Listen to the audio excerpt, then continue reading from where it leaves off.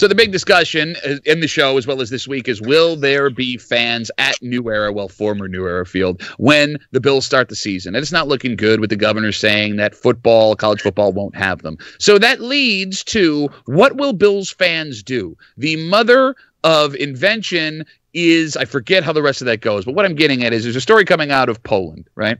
A soccer team not letting fans in the stands. So a bunch of fans rented dozens of cranes, like the ones you see guys working in washing windows.